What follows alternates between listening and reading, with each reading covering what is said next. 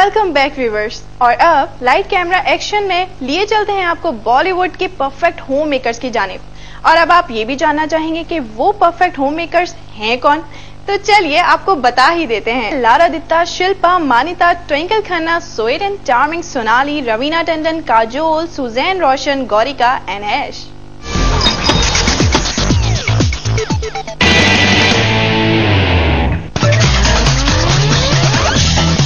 Countdown का शानदार शुभारंभ करने आई हैं वो, जिनका शादी के बाद ये पहला करवा चौथ है। नंबर टेन पर वेलकम कीजिए लारा दत्ता भूपति का।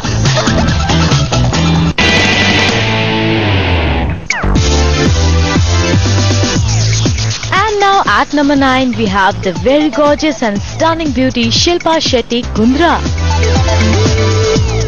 अब इनके बारे में क्या कहें?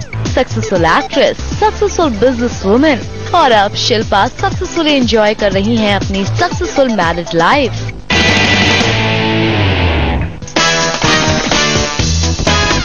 number eight पर है मिसेस दत्त यानी कि मान्यता दत्त.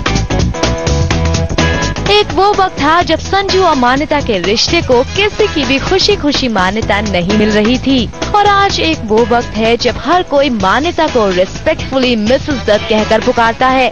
एंड ऑफ़ कोर्स इसका 100 परसेंट क्रेडिट जाता है सिर्फ़ और सिर्फ़ मान्यता को।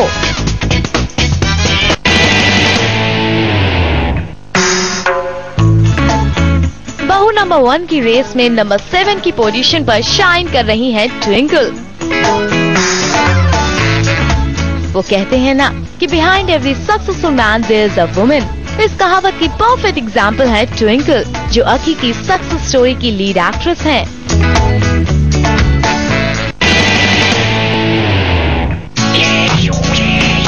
बॉलीवुड की परफेक्ट बहू ब्रिगेड को अब जम करने आई हैं sweet and bubbly Sonali Bendre. क्या हुआ? सोनाली को देखते ही आ गई ना आपके भी चेहरे पर स्वीट सी स्माइल वेल यही तो है सोनाली की सबसे खास बात। जहाँ भी जाती हैं, दिल चुरा लेती हैं। Sonali has become a someone who has balanced her life perfectly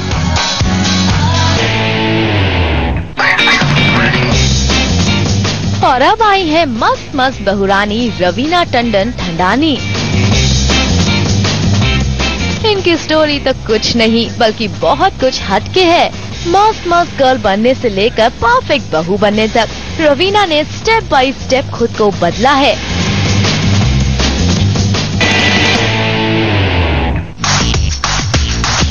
and now welcome कीजिए हमारे काउंटडाउन की बहू नंबर फोर सुजैन रोशन का। सुपर वाइफ ऑफ़ सुपरस्टार सीधे सीधे और कम शब्दों में कहें तो she is an perfect example of commitment और सुजैन ने साथ को बेहद खूबसूरती से संभाल भी रखा है she got married to the one whom शी fell in love with when she was a child. जी हाँ सुजैन ऋतिक की चाइल्डहुड लव है और बचपन से लेकर आज तक सुजैन ऋतिक का साथ निभा रही हैं।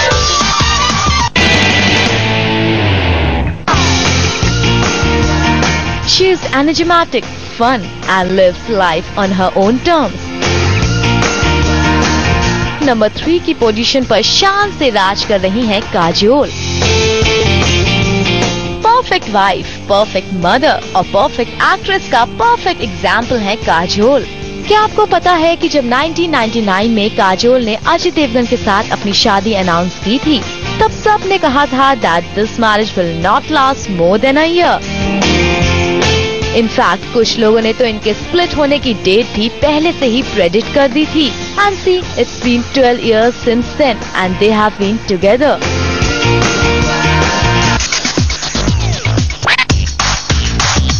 Bollywood की सारी बीवियाँ एक तरफ़ और बादशाह की बेगम एक तरफ़। नंबर टू पर वेलकम कीजिए क्वीन खान गौरी का। गौरी के पास है नेम फेम और सुपर सक्सेसफुल हस्बैंड जो बादशाह ऑफ़ बॉलीवुड कहलाते हैं। गौरी ने दिखा दिया है कि एक्ट्रेस न होते हुए भी उनके पास है शो स्टॉपर कहलाने की पूरी ताकत। अंदाज ऐसा कि बॉलीवुड की हसीनाएँ भी फीकी पड़ जाएँ। कुछ इस तरह गौरी किंग खान को कॉम्प्लीमेंट करती हैं कि गौरी किंग की जोड़ी एक परफेक्ट कपल की मिसाल कही जाती है। गौरी वो शख्स हैं जो शाहरुख के ज़ीरो से हीरो तक के सफ़र में हर कदम पर उनके साथ रही हैं। Gauri married Shahrukh when he was nobody and today he is Basha of Bollywood.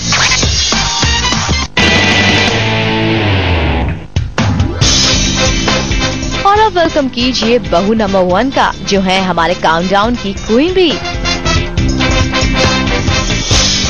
So friends, with a great round of applause, please welcome Aishwarya Rai Bachchan. She is the bahu of the first family of Bollywood. ऐश ने कैसे खुद को perfect बहू साबित किया है ये हमें आपको बताने की ज़रूरत नहीं। ऐश ने हर स्टेज पर प्रूव किया कि वो न सिर्फ़ एक लविंग वाइफ हैं, बल्कि एक केयरिंग और परफेक्ट बहू भी हैं। ऐश ने बच्चन खानदान की गरिमा पर हमेशा ही चार चाँद लगाए हैं। आखिर यूँ ही पूरा बच्चन परिवार ऐश के गुण गाता है। आज के शो के स्पेशल सेगमेंट में हम बात करने जा रहे हैं जग्गू दादा की। एक सिंपल सा लड़का कैसे बन गया बॉलीवुड का हीरो जी हाँ हम बात कर रहे हैं जैकी शरीफ की। आइए देखते हैं उनके बचपन का हाल और हीरो बनने की कहानी। कहते हैं कि किस्मत राजा को रंग और रंग को राजा बना सकती है। जिनकी किस्मत में कामयाबी और शोहरत लिखी होती है वो भले ही किसी भी अंधेरे में गुमनामी की ज़िंदगी जी रहे हो। नसीब अपने आप ऐसे दरवाजे खोल देता है, जो उस इंसान को बुलंदियों तक पहुँचा देता है। ऐसा ही नसीब लेकर पैदा हुए जग्गू दादा, यानी जैकी श्रॉफ। जैकी ने एक रूम के चौल से लेकर बंगलों तक, स्ट्रीट बॉय से, हीरो तक, गुमनामी से, शोहरत तक का सफ़र तय किया। फ़र्स्ट फरवरी 1957 को, गुजराती फादर काकू भाई श्रॉफ और टर्किश मदर रीटा श्रॉफ के घर में पैदा हुए जैकी श्रॉफ। आपको ये जानकर हैरानी होगी कि जैकी की माँ एक मुस्लिम फैमिली से थी। यानी उनके घर में हिंदू और इस्लाम दोनों धर्मों का वास था। जन्म के वक्त इनका नाम रखा गया जय किशन जय किशन परिवार में सबसे छोटे थे। जय किशन के पिता एस्ट्रोलॉजर थे। और इससे होने वाली इनकम से ही वो अपना परिवार चला करते थे। जैकी बचपन से ही बड़े भाई हेमंत से ज़्यादा टैंस थे। जैकी का पूरा परिवार मुंबई के तीन बत्ती इलाके में एक रूम के चौल में किसी तरह अपना गुजर बसर कर रहे थे। यानी गरीबी को या यूँ कहें अभावों की ज़िंदगी को काफ़ी करीब से जी रहे थे जय किशन आप जिस घर को देख रहे हैं, इसी छोटे से और टूटे फूटे घर में जय किशन का बचपन गुजरा। इन टूटी हुई सीढ़ियों पर ही जैकी अपने नन्हे नन्हे कदमों से चढ़ते उतरते थे। इस आँगन में, इन सीढ़ियों पर और इस घर में, जैकी ने कई खट्टे मीठे पलों को दिल से महसूस किया। यहीं पर जैकी ने ज़िंदगी के शुरुआती लम्हों को जिया और उनसे काफ़ी कुछ सीखा। जैकी ने पढ़ने के लिए नाना चौक के मास्टर्स हाई स्कूल में दाखिला लिया। उनके पेरेंट्स इतने गरीब थे कि बड़ी मुश्किल से उनकी किताबों का अरेंजमेंट कर पाते थे। खैर जैसे तैसे जैकी अपनी पढ़ाई कर रहे थे, पर इसी समय में किस्मत ने उनके साथ ऐसा खेल खेला, जिससे आज तक वो उभर नहीं पाए हैं। जो बड़ा भाई उनके लिए सब कुछ था। जिस बड़े भाई की छाया में वो खुद को सिक्योर फील करते थे, वही भाई उन्हें अकेला छोड़ गया। एक एक्सीडेंट में जैकी के बड़े भाई हेमंत की मौत हो गई। उस वक्त जैकी महज दस साल के थे। जैकी को बचपन से ही फ़िल्में देखने का काफ़ी शौक रहा है। जब वो छोटे थे तो देव आनंद और शम्मी कपूर के काफ़ी दीवाने थे। फ़िल्में देखने के लिए वो थोड़े बहुत पैसे माँ से लेते थे और बाकी पैसों का इंतज़ाम चने बेचकर या फ़िल्मों के पोस्टर दीवारों पर चिपकाकर किया करते थे। स्कूल तो जैकी ने जैसे तैसे पास कर लिया, पर आगे की पढ़ाई करने के लिए पैसों की ज़रूरत थी और उनके घर के हालात ऐसे नहीं थे, जो उनके आगे की पढ़ाई का भार उठा पाते। मजबूरन जैकी को अपनी पढ़ाई बीच में छोड़नी पड़ी। इतना ही नहीं, गुजर बसर करने के लिए उन्होंने छोटा मोटा काम तलाशना भी शुरू कर दिया। काम की तलाश में जैकी होटल्स, एयरलाइंस और कई जगह पर गए, पर हर जगह उन्हें एक ही जवाब मिला, ना। जैकी ने कभी भी ज़िंदगी में कुछ प्लान नहीं किया। उन्हें जो भी मिला, वो करते गए। जब वो काम की तलाश में मारे मारे इधर उधर फिर रहे थे, तब भी उनके दिमाग में ऐसा कुछ नहीं था। कि वो कोई फिक्स जॉब करेंगे। वो तो बस अपनी तकदीर के भरोसे चले जा रहे थे। और तकदीर ही उन्हें गोवा ले आई। यहाँ उन्हें काम तो मिला, पर परमानेंट नहीं। एक दिन जैकी बस स्टॉप पर खड़े थे और वहीं एक मॉडलिंग एजेंसी के एग्जीक्यूटिव ने जैकी को स्पॉट किया और उन्हें ऑफ़र कर दिया एक मॉडलिंग असाइनमेंट जैकी को मॉडलिंग की दुनिया रास आने लगी और उन्हें एक के बाद एक कई तरह के प्रोडक्ट्स को एंडोर्स करने का मौका मिलने लगा। पर उनकी लो एजुकेशन बोलचाल का ढंग, उनके करियर में आड़े आने लगा। अपनी लैंग्वेज को सुधारने के लिए उन्होंने डिक्शन क्लासेस जाना शुरू कर दिया और इन डिक्शन क्लासेस से ही उनकी एक्टिंग का रास्ता खुल गया। जैकी हीरो तो बन गए, लेकिन फ़िल्मों से कहीं ज़्यादा उनके दिल के करीब था कोई और। कौन था वो? आइए देखते हैं। जैकी छोटा मोटा काम करके और मॉडलिंग करके अपना गुजर बसर कर रहे थे। ऐसे ही एक दिन अपने काम के सिलसिले में वो बाइक से कहीं जा रहे थे। तभी उनकी नज़र टकराई एक ऐसी लड़की से जो स्कूल यूनिफॉर्म में थी और बस के बाहर लटक कर कहीं जा रही थी। उस अनजानी लड़की को देखते ही जैकी सब कुछ भूल गए। और यहीं से शुरू हो गया जैकी और आयशा के प्यार का सिलसिला।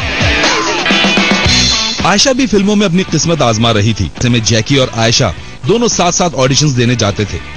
अर्ली एटीज में ऐसी कुछ फ़िल्में भी आई, जिनमें जैकी को किसी न किसी वजह से रिजेक्ट कर दिया गया और आयशा को साइन कर लिया गया। पर हमेशा की तरह, जैकी इससे निराश नहीं हुए। उन्होंने सब कुछ ऊपर वाले के भरोसे छोड़ रखा था। किस्मत कब तक जैकी को तरसाती? धीरे धीरे नसीब ने अपना रंग दिखाना शुरू कर दिया। अपनी एक्टिंग सुधारने के लिए जैकी ने एक्टिंग का शुरू कर दिया। और यही उनकी मुलाकात एक दिन हुई देवानंद के भाई सुनील आनंद से। सुनील आनंद जैकी से काफ़ी इंप्रेस हुए। नतीजा ये रहा कि सुनील ने से मिलवा दिया। उन दिनों देवानंद स्वामी दादा नाम की एक फ़िल्म के लिए फ्रेश फेस की तलाश कर रहे थे। देव साहब, जैकी को एक सिगरेट एडवर्टाइजमेंट के पोस्टर पर देख चुके थे। उन्होंने जैकी को फ़िल्म के लिए साइन तो कर लिया। जैकी को अपना हुनर दिखाने का कुछ खास मौका नहीं मिला। स्वामी दादा में उनके दो शॉट्स थे और वो भी बैरीज हेंचमैन के रूप में। स्वामी दादा में जैकी ने भले ही दो शॉट्स दिए पर एक ऐसे जोहरी की नज़र में वो आ चुके थे, जो उनके अंदर के टैलेंट के साथ जस्टिस कर सकता था।